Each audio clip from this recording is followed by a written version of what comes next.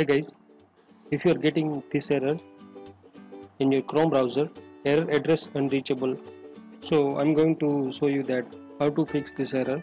First of all just open the chrome browser and search chrome james science double slash net hyphen internals and hit enter. You will get this page on the left side just click on DNS and clear host cache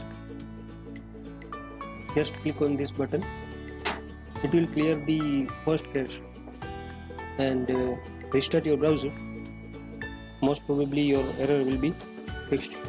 If the issue is still there then follow the another method. Just click on start button and search inetcpl.cpl and hit enter. Just click on connections.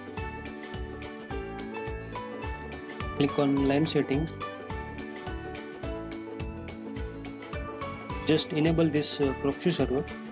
Just uh, check on the checkbox. In the address bar type 127.0.0.1 in the port just write 80 and hit ok again click on the ok button. Your issue most probably will fixed. Now open the chrome browser and check the issue is fixed or not. If the issue is not fixed again go to the start search again inetcpl.cpl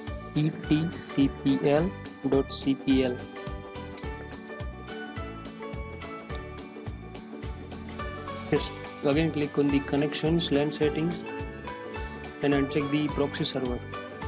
Click on OK, OK, and follow the third method. In the third method, just uh, open the Chrome browser, go to the settings, go to the privacy and security in the privacy and security just clear the browsing data. Just click on clear data and restart your browser and check that your issue is fixed or not. If still the issue is arriving then just comment down below into the comment section. I will suggest you some another methods also. So that's it guys keep subscribe for the more videos like that. And thank you for watching